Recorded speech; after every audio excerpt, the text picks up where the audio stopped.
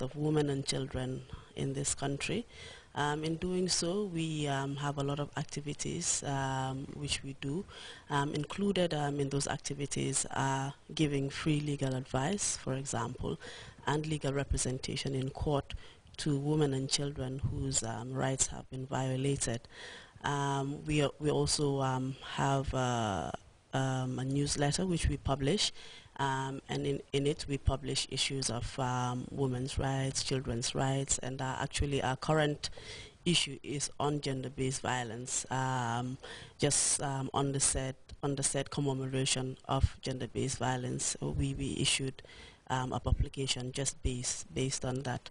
Um, also, we promote law reform in the area of women and children's rights. We provide a lot of training as well um, on this topic to various stakeholders in society, like religious leaders, traditional leaders, um, you know, women and children, and, and the public um, at large. Um, and um, these are the main activities we, we, we, we, we do. As part of the network, and on this particular um, activity of the 16 days activism. Um, we will be celebrating all the activities that Falo has rightly said um, going on tomorrow. Um, but our particular participation um, will be in our area of expertise, which obviously is providing um, legal advice and representation to, to women in the specific area of gender-based violence and other um, women's rights and children's rights um, issues.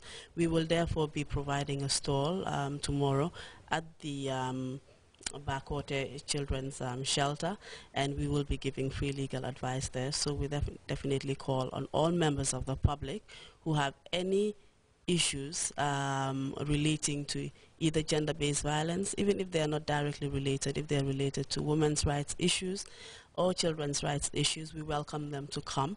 Um, this is free. Um, we all know that it's very costly to see a lawyer, and therefore I think that members of the general public should take um, this really great opportunity to come and get free legal advice. So if any women um, are in need of this advice, um, let them come tomorrow at the Bakoteh Children's um, Center.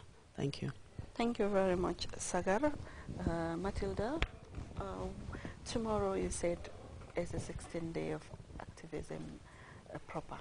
So what are the activities you have lined up for tomorrow? Okay.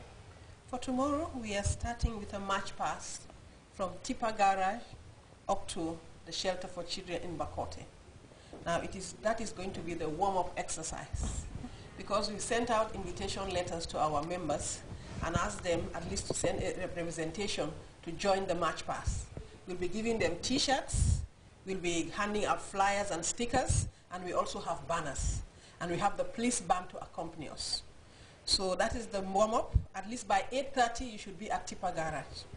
And we march to Bakoteh, um, where the ceremony proper will start around 10 a.m.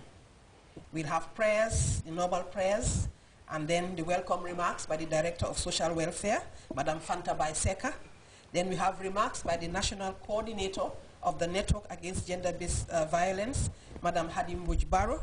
Then we have a short sketch because we have some youngsters who will be doing a five, 10 minute sketch on issues of uh, violence. Then we have another remark by the Honorable Minister for Health and Social Welfare and National Assembly Matters. Another remarks by the Honorable uh, Minister of Justice. A five, 10 minute break where we also have sketch by these um, young people. Then the keynote address by Her Excellency the Vice President and Minister of Women's Affairs, Aja Aissatou Saidy. And then after that, we have a tour of the Bakoteh um, shelter premises because I know a lot of people maybe have heard about it, but they've never been there. So tomorrow is your chance. You will have a conducted tour of the facilities and you will also see the various counseling rooms and also talk to the members of staff who were there. Then we have refreshments. And of course, as um, Madam um, Sagar said, there will be free legal counseling, free counseling also for um, um, psychosocial um, um, counseling, and also if you have any medical co consultation that you, you, know, you want to, to ask about, because we'll have information desks manned by some of our partners. We've asked them to bring some of their uh, leaflets, some of the, you know, the things that they do during their work, and you can go to them and talk to them. I'm sure people will be wondering, you know, you are talking about free legal um, counseling. How are they going to do it and where are they going to do it? For that, we have two rooms set aside where you can have one-to-one -one counseling. Because we know Gambia is a small community. You may not want other people to see you going to talk to the legal person or even going to see the medical uh, people. So we have rooms set aside where you can have all the confidentiality that you want and you can talk to them. Another issue, we are also talking to the men to come out. Because um, in various seminars that we have conducted, we've had people say, oh, but there are men who are also violated, you know, their rights are being violated. But the men do not come out and talk about it. So please, we are appealing to the men and the boys. If any of you have had issues of abuse, this is the time for you. Don't be shy. Come there and talk to us. Because gender is not only about women, it's about men and women. Thank you very much, Matilda. Uh, Falu, what is the purpose of this one-stop uh, shop shelter? Thank you very much, um, Edna. I think that's a very, very important question and people need to know. Um, before the setting up of the one-stop center, um, when people are violated, especially women, they normally go to the health facilities. From there, most of the time they are referred to go to the police because they need a police escort to take them before they can get any treatment. And sometimes they are referred to social welfare. So they have been, it has been very hard for them.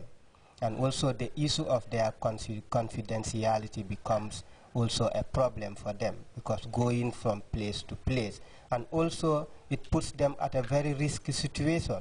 Imagine somebody who's been raped, whose life is at risk. You went to the hospital wanting medical attention and you are referred to the police. Maybe the police is too far away. Before you go there and coming back, you might um, um, have problem.